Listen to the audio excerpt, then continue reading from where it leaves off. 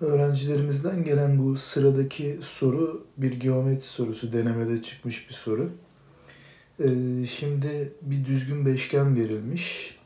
İçeride taralı olan FDC üçgenin alanı verilmiş, 16 birim kare. 81 derecelik bir EDF açısı verilmiş.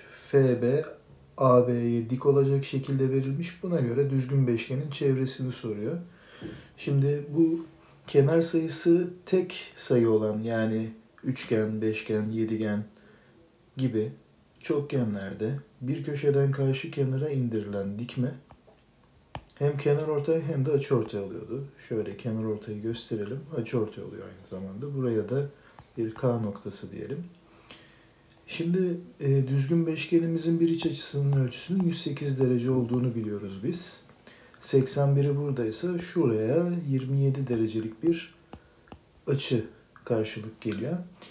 Bu düzgün beşgende indirdiğimiz bu dikme aynı zamanda açı ortay olduğu için 54-54 bölecektir buraları.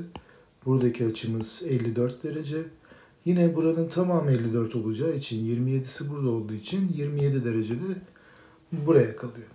Zaten sorunun çözümünde de en önemli noktalardan bir tanesi bu. Şimdi ben buradaki şuralara A, A desem 2A kadar oluyor. Bu düzgün beşgen olduğu için burası da 2A birim kadar oluyor.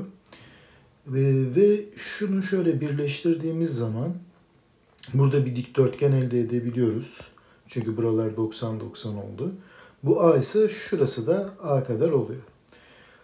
Ve burada bir deltoid oluşturabiliriz. Bakın açı ortay olduğu için 27-27 geldiği için şöyle buradan bir dik atsak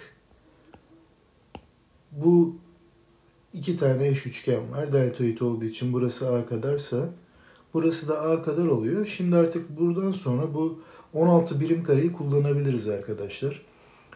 Mavi üçgenimizin alanı tabanı 2A çarpı yüksekliği A taban çarpı yükseklik bölü 2 A kare. Bunu da bize 16 olarak vermiş. Demek ki A 4 birim.